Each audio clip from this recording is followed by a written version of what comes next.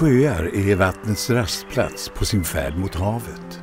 Cirka 90 procent av vattnet i våra sjöar kommer via bäckar från det omgivande landskapet, det så kallade avrinningsområdet.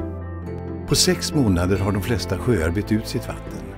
I större sjöar kan det ta några år, men även detta är en kort tid. Det här innebär att vattenkvaliteten i första hand är en spegling av det som hänt i omgivningen de senaste åren. Det finns mer än 30 olika arter dagsänd i Sverige.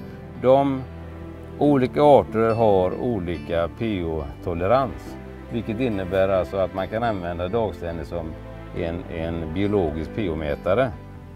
Och just den här dagsändaren, den klarar inte pH som går under 5,5. Vi, vi, kan också se att det är, som vi sa, tre stycken generationer, varav den äldsta är tre år.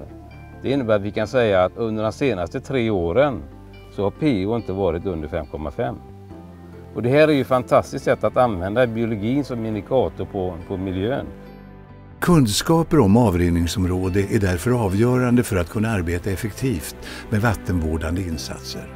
För att lära känna en sjö eller ett vattendrags roll i vattenlandskapet är kartan till en stor hjälp. En blick på en karta avslöjar vad som finns uppströms och vad som därmed kan påverka vattenkvaliteten.